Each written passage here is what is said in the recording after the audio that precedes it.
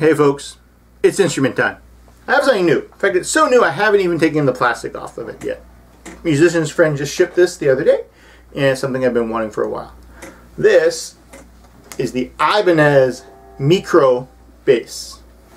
It's a baby bass. Still got the tags on it, still got the plastic on it. So I bought this because I wanted a small studio bass. It's also a great little travel bass. Uh, folks who are bass guitar snobs will of course highly dislike it because the main feature on this guitar is the scale length. And on this one, the scale length is 28.6 inches. And that's baritone guitar length, not bass guitar length. So normally your bass guitar will have a scale length of 34 inches uh, short scale bass might be 30 to 32. This is, they call this a short scale bass. I'm going to call it a super short scale bass. So, comes in eight different colors. I grabbed the Sunburst because Sunburst is cool and it didn't cost any more. So, so that's the tag on it. So, uh, body is um, either poplar or agathis. Um, it depends. Uh, Ibanez's website says popular, poplar, musician's friend since Agathis. Uh, nice maple neck. It's actually quite pretty. I don't know if you can quite see the uh, detail of the wood on this camera. So it has three controls, uh, one tone control at the bottom, then the bridge pickup, and then the neck pickup. So with just the neck pickup,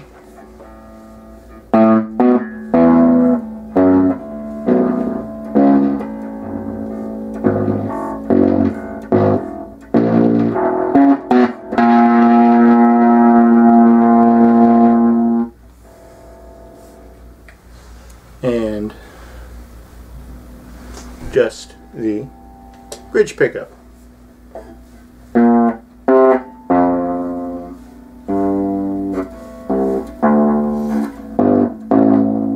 That sounds good. So let's mix in a little bit of both.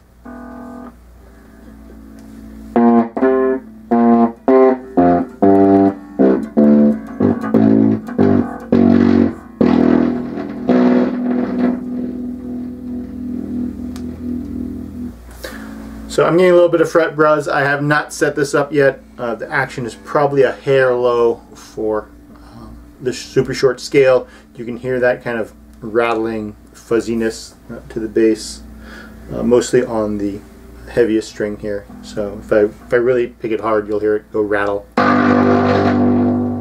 Right, so we don't like that. So we're going to have to adjust the truss rod. It came with a truss rod tool, so that was cool. Um, but yeah, I wanted a little tiny bass for uh, the studio work. Uh, it sticks out almost a foot less than the full-size bass over there. And um, with my guitarist hands, uh, reaching the frets is way, way easier. So um, that's what we got. So Ibanez MiKro.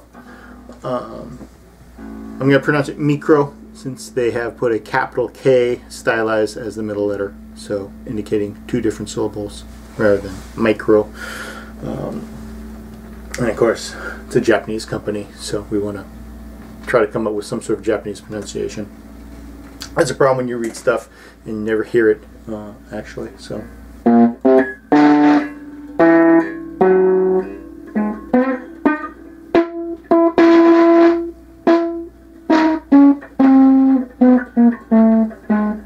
So,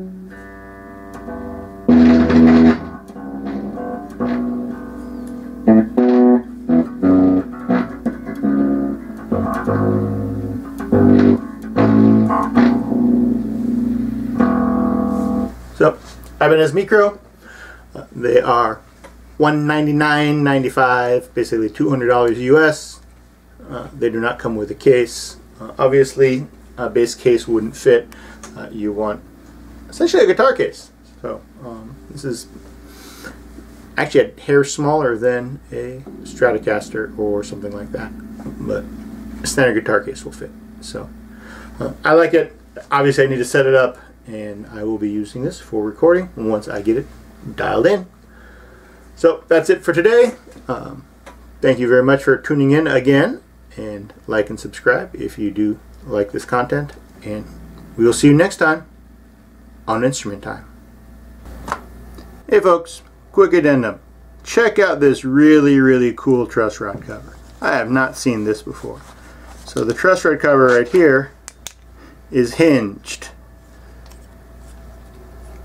That's nifty. I like that. So you don't have to use a screwdriver to remove it. You can just reach in with a uh, little tool and pull that to the side. I actually use a thumb pick. So that's neat. Uh, regular action truss rod, so counterclockwise to give more release, relief, clockwise to uh, reduce relief. I just gave it about an eighth of a turn and it already sounds way better. So anyway, I wanted to uh, add a quick addendum because this thing is cool. I've never seen this before. So again, thanks for tuning in and we'll see you next time on Instrument Time.